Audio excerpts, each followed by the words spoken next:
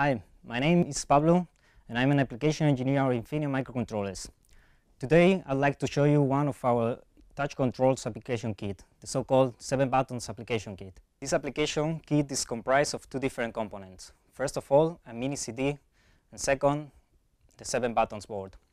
In the mini CD, which contents you can also download from the website, you will find different technical documentation like application notes, source code, or layout and schematics.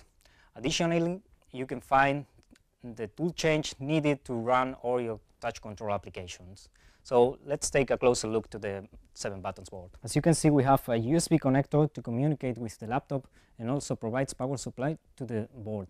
We have as well a chip which is a USB to UART translator, a switch which changes between boot, bootstrap load mode and run mode, of course the 8-bit microcontroller XC822, and finally the 7 buttons which are sensors for our touch.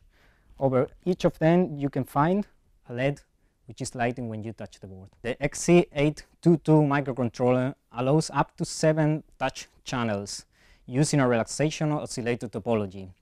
One of the main important and most uh, nice features of these microcontrollers is that you don't need any external components to develop your touch control.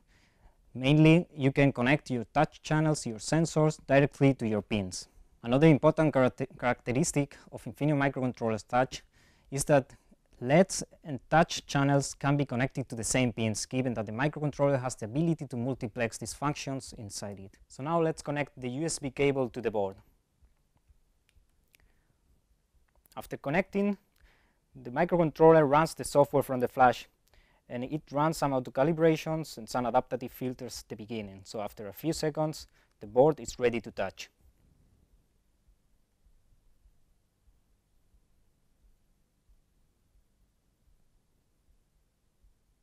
Within touch control application, it's very important to be able to configure different channels independently. Let's take a look, a closer look to our kit and see how it's possible to configure them independently. First of all, we need to import the code into DaveBench, which is a free compiler and debugger supplied by Infineon. Let's click on File, Import, System Project, and now we have to browse in our computer. Go to 7 buttons, DaveBench, touch button A, then OK. Finish, and now we can see our code in DaveBench. Now we can access the source code and modify wherever we want. But there is even a better option. Just go to Dave interface. The module responsible for touch and LED within Dave is the LED slash TS, which stands for LED and Touch Sense. Let's go inside. Here you can see different tabs, and in the tab ROM library is where you find the parameters for adapting your touch application. Let's, for example, change the sensitivity of our touch. One option to change the sensitivity is to change to modify the offset parameters. As you can see, we can modify the offset for every channel independently.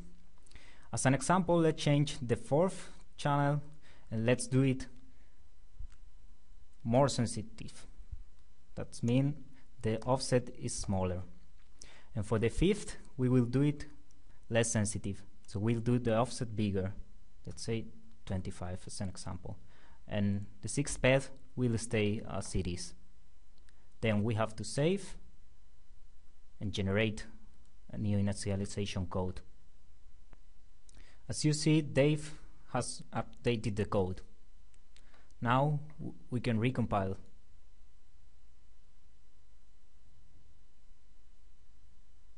After a few seconds, DaveBench has generated a file called touchbutton underscore a.hex that we can download with Fload. Now you just have to click on download, taking care that your switch is set to the left. It's important that you select your COM port from your device manager correctly. After download and verification has finished, we can unplug the board, shift the switch to the right and connect and plug the board again. So now the microcontroller auto calibrates. Now we have three different sensitivities. In the sixth pad, we have a normal pad as before.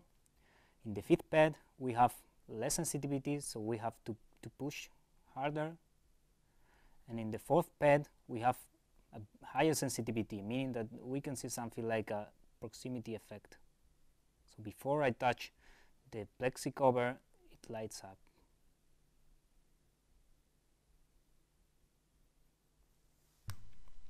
Just to finish, let's go back to DaveBench to make use of U-SPY. U-SPY is a visualization tool integrated within DaveBench that allows the user in real time to monitor variables or parameters that are relevant for the application. After having configured U-SPY, we just have to click on the red button and then we receive data.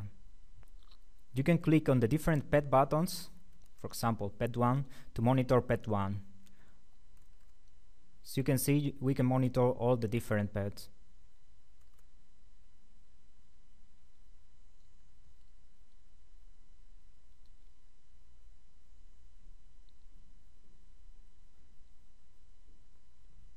As I've showed you here, it is possible to customize many other parameters to fulfill your application requirements within a few mouse clicks.